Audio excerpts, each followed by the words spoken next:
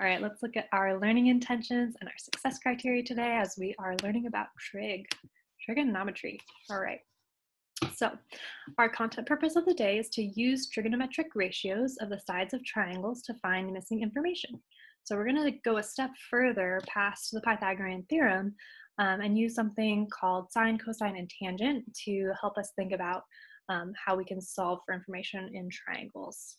Um, and our language purpose, I want you guys to really be articulating what information is given to you and how you can use it. So we are talking about triangles and sides and angles and ratios. And so you want to be clear as you work with each other um, to say what it is that you're looking for and what it is that you can use, um, which strategy you're going with um, as you work through these problems. So the social purpose kind of goes along with, along with that. And I put here that we want to support each other in building perseverance in mathematics by offering ideas and encouraging our peers to talk about their thinking. So um, this is a new concept, and so it might be weird at first, and you might feel like you're stuck, but we want to persevere and keep trying things. Um, and we can offer ideas to our peers, give them suggestions.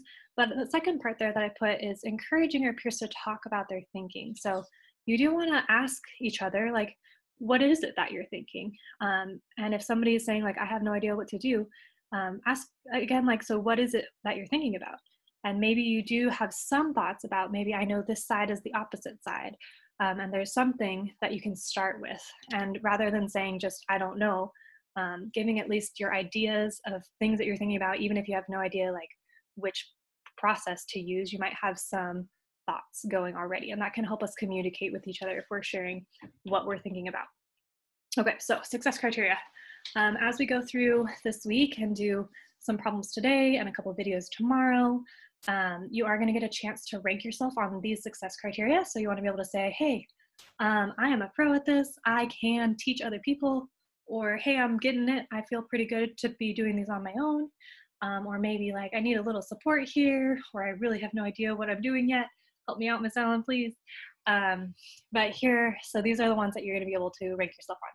So first off, can you describe what a trig trigonometric ratio even is and like what, why do they exist?